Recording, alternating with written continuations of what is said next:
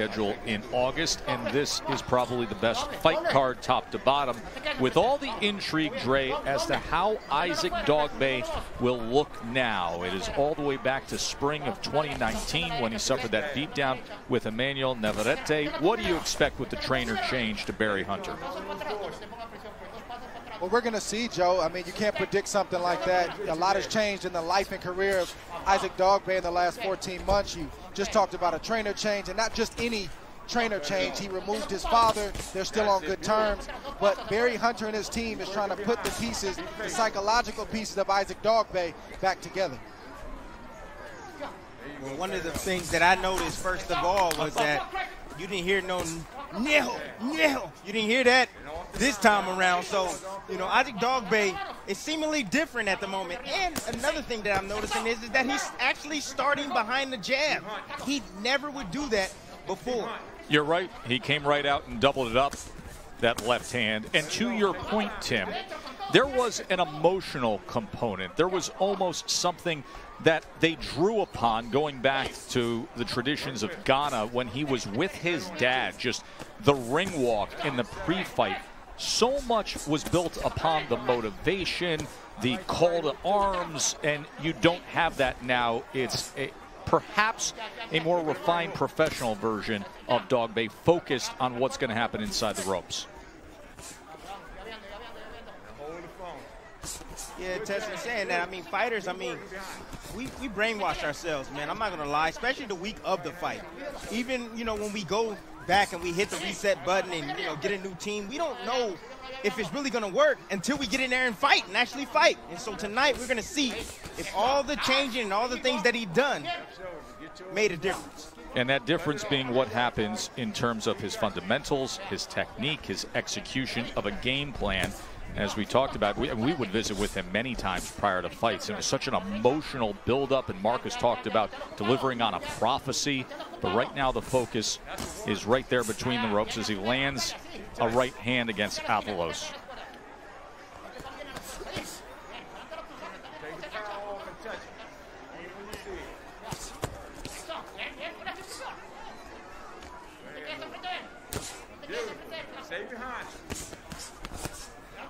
Right hand from Dogboe. Just a very, yeah, just a patient Isaac Dogboe right now. He's not in a rush. He's fighting eight rounds. He's used to fighting 10 and 12 rounds, but just patient tonight, trying to get his feet under him and trying to see what those punches feel like with those small gloves on. 25 years old, and it already feels like a lifetime of experience in the ups. You know, one thing I want to say is that, you know, I want to tell you folks at home is that a fighter's confidence is probably the most important asset you need as a fighter because the confidence is what controls the brain. You know, I wonder where the confidence level lies for Isaac Dogboe, you know, as he's fighting, you know, and as he continues to, you know, march forward and, and, and dominate, I think his confidence level will shoot up. But taking the two beatings by Navarrete, that had to be hard to come back from. Bernardo, curious as to how that first round visit with new trainer Barry Hunter went. He was quite pleased. He said, hey, for a guy who's been off for a year, the rhythm was actually pretty good.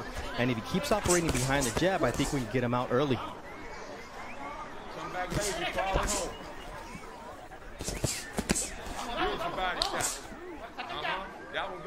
the thing about losing your confidence is, you know, it takes time to get it back. I can remember getting knocked down early in my career and telling my coach, I don't want to fight on TV. I'd rather fight in off-TV bouts because I'm young. I'm trying to figure it out. It's the first time the media ever turned on me, and it takes time. Your trainer is somebody that has to help you believe again.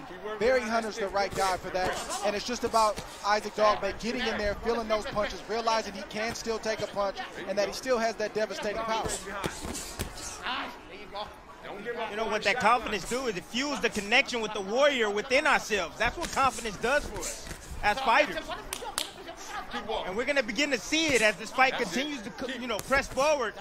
And Isaac Dogboe, the more success he has, I'm pretty sure, the more he's going to let his hands go. Been targeting that body pretty well here in round number two.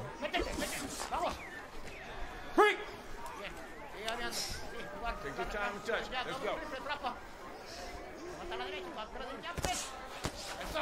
Right uppercut from Avalos. And utilizing the jab himself. Tess, one of the hardest things that I see that's going to be hard for Isaac Dogboe to break is he leans forward. He leans forward over that front knee. But if Dogboe, if he understands why he leans forward and kind of set a trap for his opponent because Avalos is looking for that right uppercut. He knows it's available. He landed it about 30 seconds ago. Right hook. Right hook. Right hook. Get the separation. That's it. Good steady pressure from Isaac Dogboe. Mm.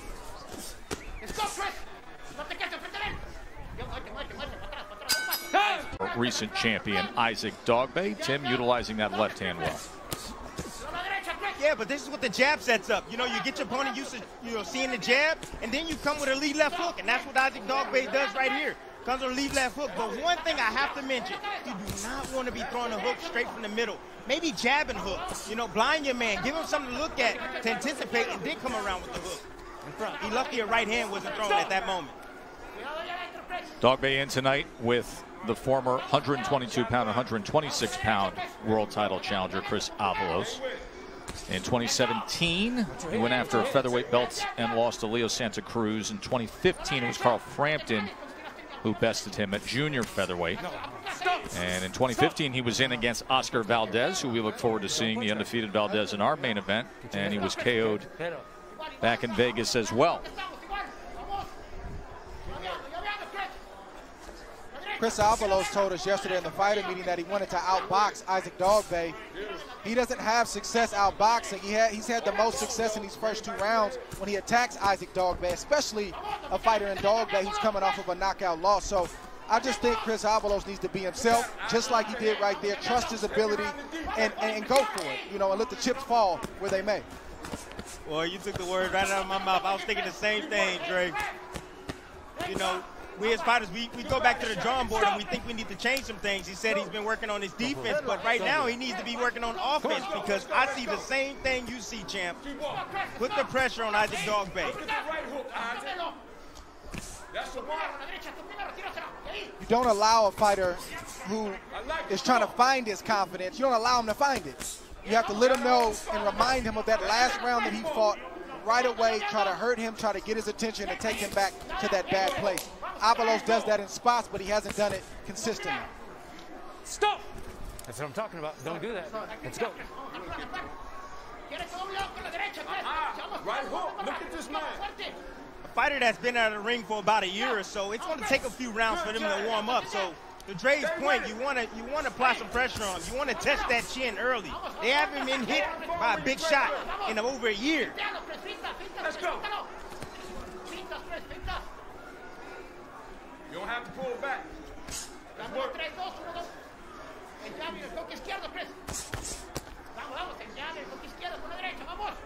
Around the fourth round, we're going to see Isaac Dogboe. He's going to probably start getting in his rhythm around the fourth round because usually that's how that's how long it takes for you to get your sea legs back.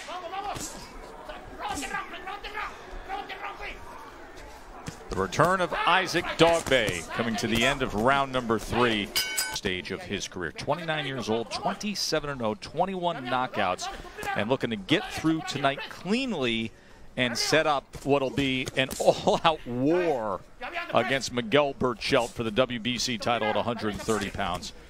Two guys from Hermosillo, Mexico, who, when they're out doing road work, they bump into each other. They see each other out to eat. The guys who have great appreciation and a friendship, but they only know one way, and when they get into the ring, it will be fireworks. But right now, Valdez has to get through Velez tonight. Round number four here of our opener with Dogboe and Avalos. Bernardo.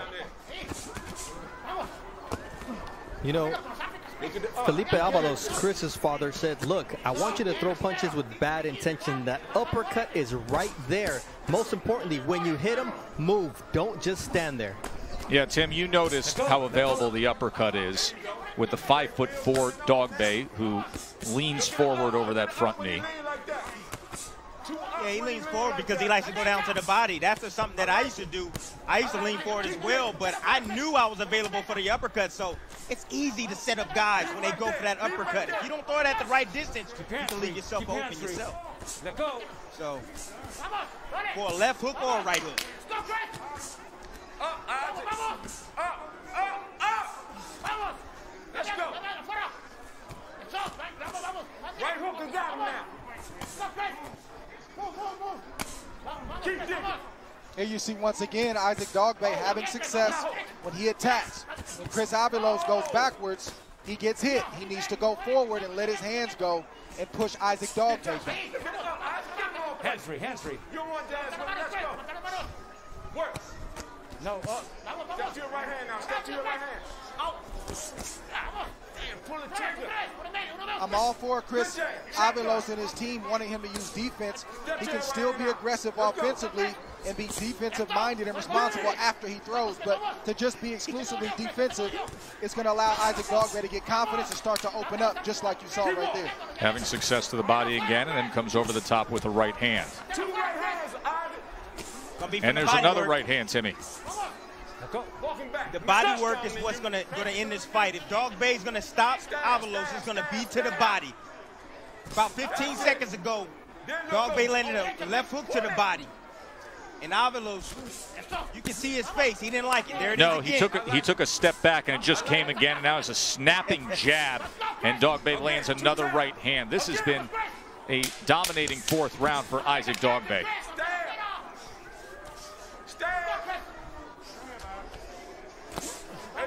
Range, but he also had some moments in close. Beautiful slip right there, slip, but he stayed low. He didn't raise up into a punch, got a beautiful right hook to the body, and you see the reaction from Chris Avalos. Isaac Dogboe needs more of that this round.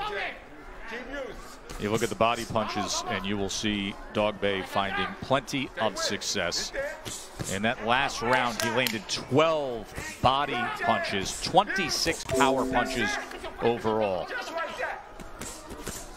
Keep digging down there. There you go.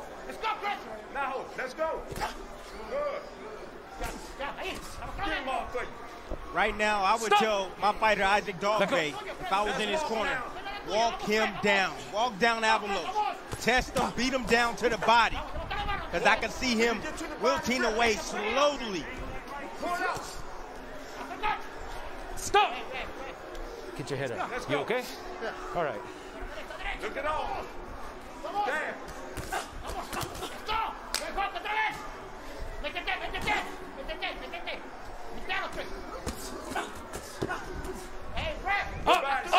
Get him up. Stop. Chris Avalos is a tough fighter. He's a veteran. He's been around. He's, he's fought two championships. He's lost those two championships, but he's tough. The way you slow a fighter like Avalos down is to continue to hit him to the body, like we're calling for, and like the corner of Dogboe's calling for. That that's the intimate combat right there, where you can feel the sweat of the opponent. You can hear him breathing, but you're willing to stay in that place to get the right shot in and inflict the right amount of damage. Dogboe has to stay focused on the body right now, not the head. There's a left hook upstairs. Then he digs to the body with a left hand. To the left shoulder, Isaac. Every time he does that, Joe, he gets a reaction from Avalos. So that tells me I need to stay there. Come on, son. Right hand throws him off balance. Dogboe steps to him, looks for that left hook to the body again. Stop. Time. Over there. Come here. One point, low blow. One point, low blow. One point, low blow. Knock it confused. off. Go hit him low. Point deduction here in round five against Dogboe. Go back to the jab. Yeah, I, I don't think I saw the first warning. I don't remember the first warning. We got one again. There you go. Got warned one time. Now change the speed, Isaac. Take it back to the amateur. Change the speed. There you go. So what the coach is asking for, Barry, he's saying change your speed up. You know, you want to change your speed up and alter your your cadence of your punches. So that way you can't be timed. There you go. Stop. Dogboe's return going well. So look to be on the belt line to me. Yeah, everything is op- opposite in boxing. There you go. You see the right hand thrown, and you see Isaac Dogboe slip to his left and land that body shot. And there it is. That's right on the belt line. That don't look very low to me. It's just teeter, uh, maybe, possibly. But for me, I would, I would, that's clearly on the belt line. That's it. No talk.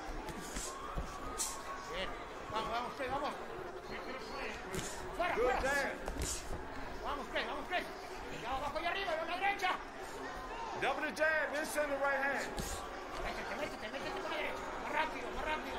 Dogboe right now has abandoned his jab. That's the reason why he can't get close to Avalos. If he uses his jab, he'll be able to get in position to be able to land those hard body shots.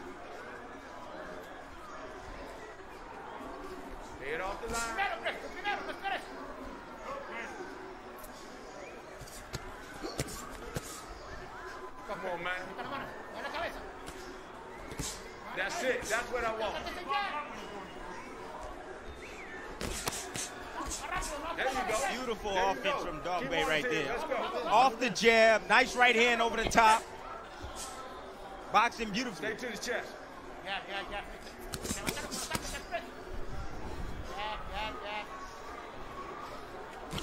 That's it.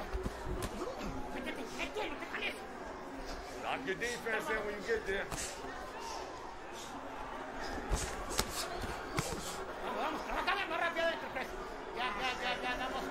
Really think Chris Avalos is ready to go. I'm not saying he's hurt right now, but I do believe if Isaac Dogboe steps up the pace and gets inside and rips those shots to the body with both hands and finishes up top, Chris Avalos is going to have a problem. You got to be able to read when your opponent is kind of just in there to survive. Right now, Avalos is surviving, and Dogboe's got to step it up. Dre, you're not alone in messaging that. Barry Hunter in Dogboe's corner also believes that. As we were listening to him earlier. Well, if you see it, right, if you see it as a coach, you want to call it out. And this is also sort of the rebuilding process for Isaac Dogboe, reminding him when you're in these moments, it's okay to attack. You're safe. Let your hands go. Believe in yourself. And that's what you hear from Coach Barry Hunter right now. Just like that. I like it. Slowly but surely, he'll. I think he'll get that confidence back. You know, I'm seeing it right now. He's enjoying himself in there. He's boxing beautifully right now, switching southpaw, feeling himself, feeling good. This is easy for Isaac Dogboe, but yes, you're right. He can step it up and get Avalos out of there if he wants to. But right now, he's just having some fun. He is mature. He is thoughtful. He has a master game plan that he wants to put forth in his career. You know, Tess, very seldom we see a, a fighter that come into those fighter meetings that just have it all together. You know, and I'm talking about from from the boxing. I'm talking about from the mindset, the mentality. Like he seems like a fighter that has it all. You know, and he seems like a fighter that you know could be a future world champion. And according to trainer Freddie Roach, he says, hey, I give this guy high praises. I believe he's going to be a future world champion at 140 pounds. So he's coming up next for now round seven, scheduled for eight with Isaac Dogboe and Chris Avalos.